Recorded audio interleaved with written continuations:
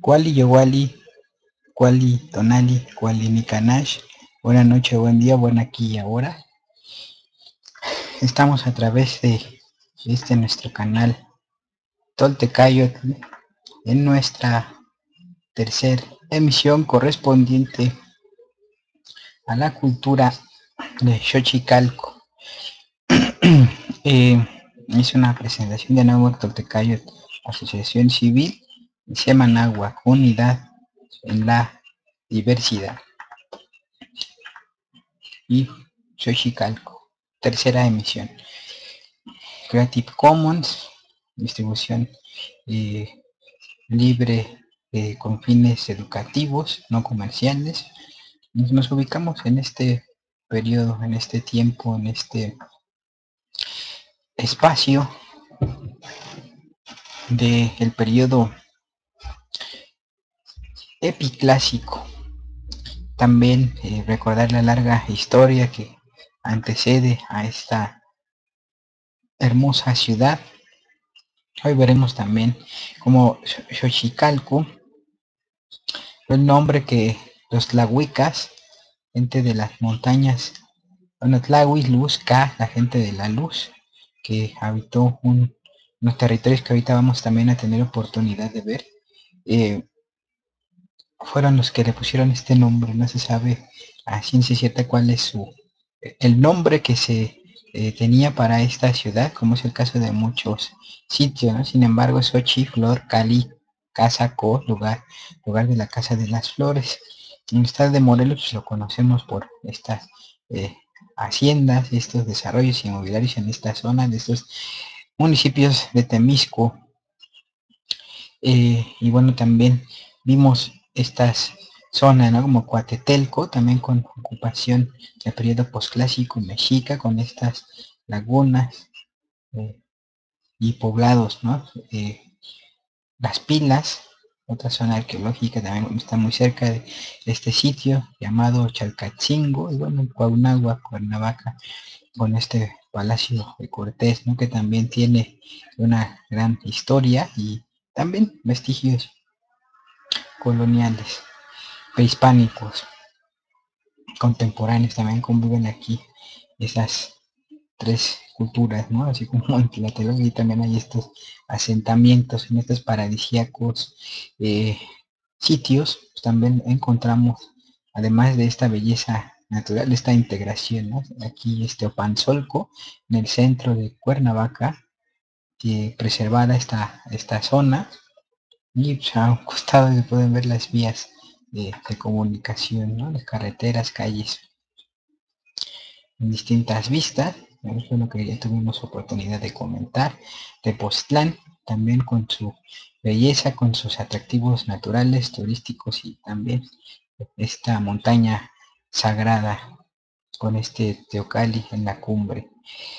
Entonces, eh, nos quedamos en este eh, recorrido sobre Xochicalco, que es la que tiene mayor densidad de construcción por metro cuadrado en toda Mesoamérica, lo cual nos habla de su importancia y esto mismo tuvimos oportunidad de identificar y de hacer unos eh, recorridos para visualizar este entorno. También va a ser eh, importante eh, tener en cuenta que en Xochicalco se desarrolló un estilo propio con integración de materiales eh, del lugar, también adobes y se utilizó también este estuco.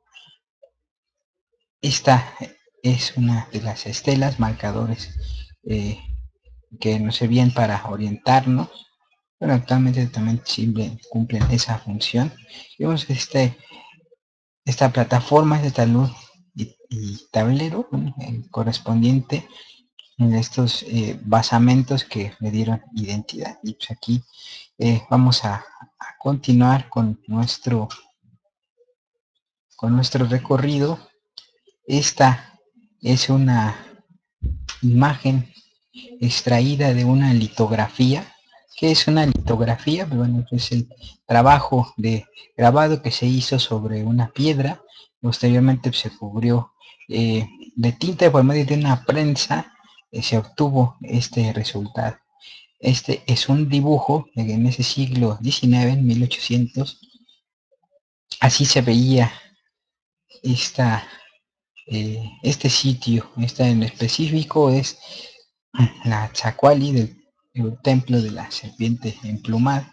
Vamos a apreciar en la parte inferior las, eh, las personas y la proporción que guardan estas mismas al llegar estos exploradores occidentales y pues, contemplamos la vegetación ¿no? cubriendo por completo estos eh, parajes. Ha sido un espectáculo, ya entrado el siglo XIX, estas eran las eh, condiciones en las que se estaba eh, la parte principal de este templo. Es una fotografía del siglo, principios del siglo XX y se puede apreciar el estado en el que se encontraba y fue poco a poco restaurado y quitando la vegetación de los entornos. Eh, a partir de, estas muestras, de estas fotografías, de estas representaciones y también de la evidencia que, sobrevivió, fue posible identificar estos elementos que podemos apreciar para reconstruirlo. El amarillo es la reconstrucción y en blanco y negro es lo que llegó a sobrevivir.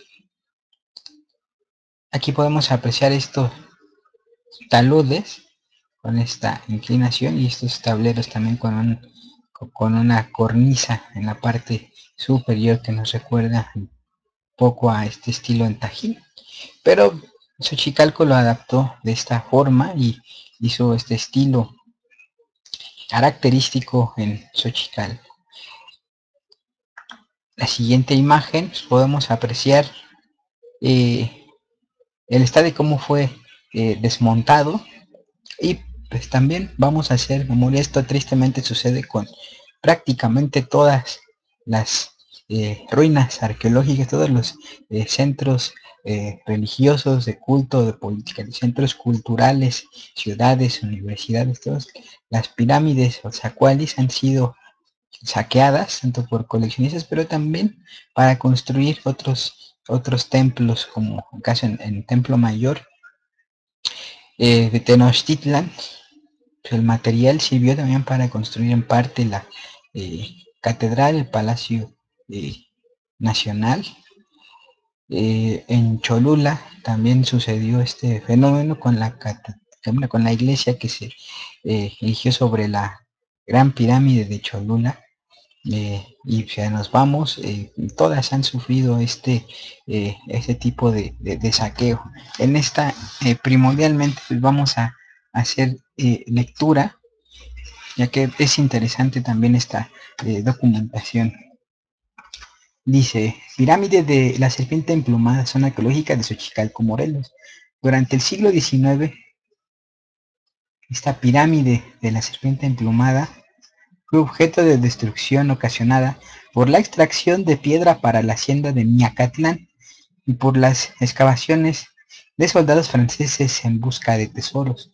No obstante haber sido restaurada, parte de los relieves y grabados con color en la ilustración que vimos en la lámina anterior se perdieron y con ellos información fundamental para interpretar el monumento.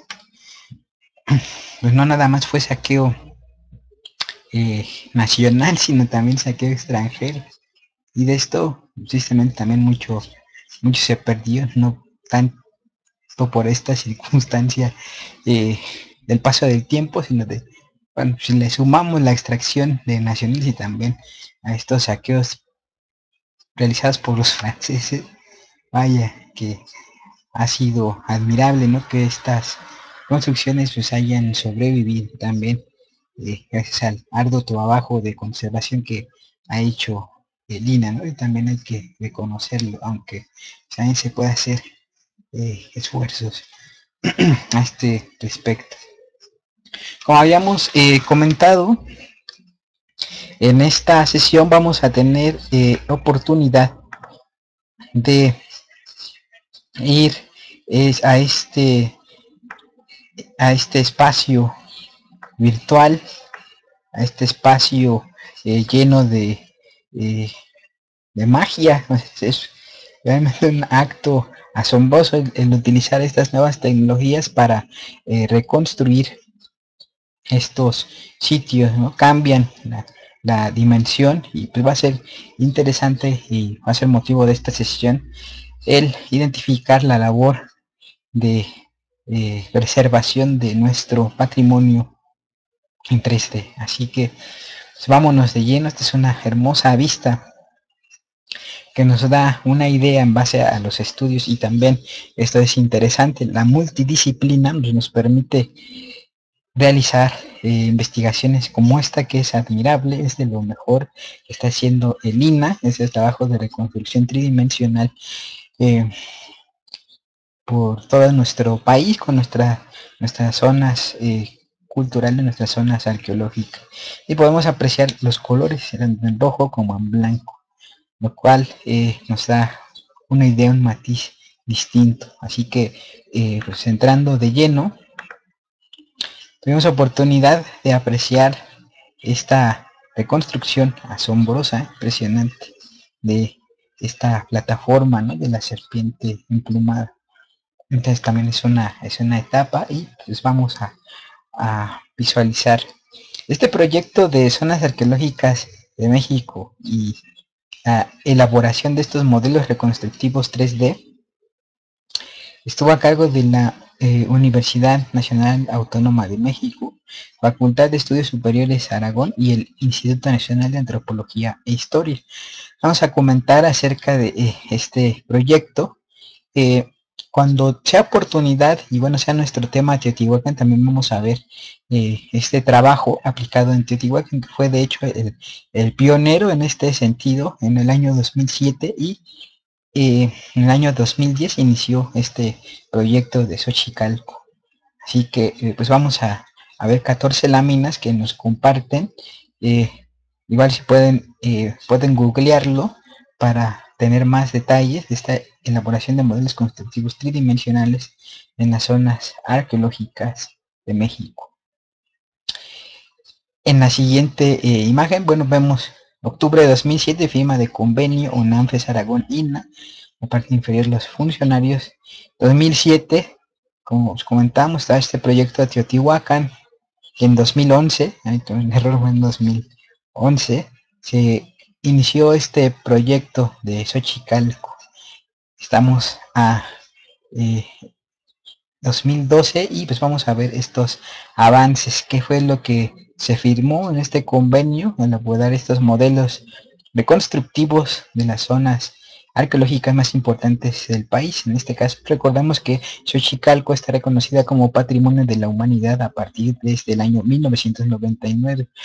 Entonces, elaborar material dirigido a la investigación, la academia y la difusión. En este caso, pues estamos haciendo eh, también eco en este aspecto de difundir ese trabajo eh, académico y de investigación, ese trabajo multidisciplinario que eh, pues tristemente no se difunde como, como se quisiera, pero pues también para eso están estos espacios. Así que quienes participan, la UNAMFES Aragón, INA, Coordinación Nacional de Arqueología, Delegación INA Morelos, y esta dirección de la zona arqueológica de Xochicalco, Alberto García Crespo Silvia Garza Tarazón, en lo correspondiente a esta división de humanidades de la Facultad de Estudios Superiores Aragón, el maestro Roberto Pliego, y también pues, los alumnos de servicio social quienes se encargan de realizar este trabajo, ¿no? Coordinados por este